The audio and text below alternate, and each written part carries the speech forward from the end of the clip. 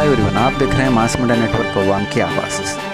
अभी अभी मिली खबर के मुताबिक कांग्रेस के एक बहुत दिग्गज और बड़े लीडर बसवर कल्याण के बाबू हुनाना का सुनने में आया है कि जैसे कि आप तस्वीर में देख सकते हैं एक्सीडेंट हुआ है, जिसमें वो काफ़ी गंभीर रूप से ज़ख्मी हुए हैं। बताया जा रहा है कि उनकी हालत अभी तशवीशनाक है। ये नहीं कहा जा सकता कि उन्हें कितना चोट आई है, क्या कंडीशंस हैं, क्योंकि अभी हम तक कोई खबरें नहीं पहुँची हैं।